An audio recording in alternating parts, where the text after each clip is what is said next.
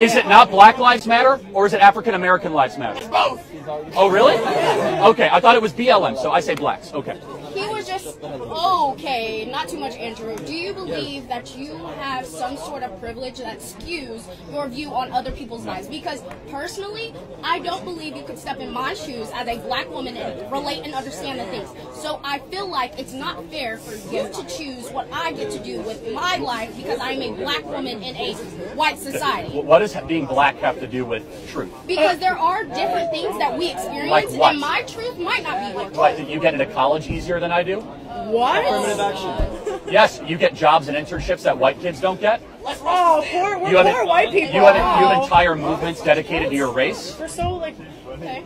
Sir, do you remember the Those novel? movements are to get riots. You're crazy. Okay, So, so do you, talk. do you not believe in racism? Of course racism exists. The Democrat Party is still alive and well. Do you think people are racist against white people? Of all the time. All the time. That's his Aff- definition. affirmative of action is racism. racism against white people. Yes. Okay. And Asians as well. And Asians, that's right. So I, I do have a question in that sense. If affirmative action is racism, why are most colleges predominantly white? Why are they most predominantly white? Why are most colleges, public colleges, are predominantly Yeah, white? We are talking to A, you. we're a majority white country. You realize that, right? Uh, so, so colleges are the depiction of the nation, Okay. And actually, blacks on campus are disproportionate more than their population in certain areas, in certain campuses, than their population because of affirmative action. In HBCUs? Is that Cer- what you're certain campuses. Are you talking about HBCUs? So, but let me just ask a more broad philosophical question: Why does skin color matter at all? Why should we care about it? Because of the society we live in. Because Well, hold of on, the but society no. You're we live in. dismissing anything that has ever happened to someone of color Let me ask by you a question. What can what can you do, or what can I do that you can't do? Explain What how law? affirmative action works. Explain how affirmative, Affirmative action action is lowering of test standards, and quota for a Wrong. quota. You're an idiot. No, it's I'm not. It's the way it works. I'm tell you how it works. Yeah, it's the way it works. I'm not going to entertain fallacies. No, Tell you, me you why? entertain me because I. Just let him Why- talk. We have to hear your fallacies. Why? Why does skin color matter? Let him talk. Well, I call me an believe. I believe skin color matters because of the society He's not we being are respectful. in. Do you know how And I guess it goes into critical rights. race theory. Removing Yes, it is. is Because of the society we have lived in, too. race is a factor. If from the beginning of time race wasn't a factor, and there was never anybody who was oppressed because of their race, I feel like it would not play a part in anything that we do. But because literally less, Oh, it's just Charlie. are- um, They were interrupting you. I was. You can think of black on black crime. Uh-huh. he is right.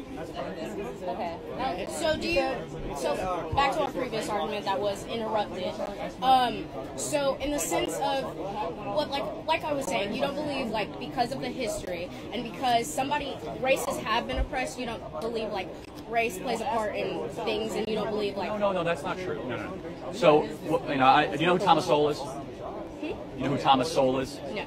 I really encourage you to look. Thomas Sowell's great. He's one of the best black economists of the 20th century. Grew up in Harlem, and he's done the best research in the 1940s, 1950s, and 60s black community. And essentially, his argument is that black America was experiencing a renaissance in the 50s and 60s, despite discrimination. Yes. Now, the one part that I would agree with, But however, it's not the black community as a whole; it's Harlem black community. there were Chicago too, but let's pretend you're right, okay?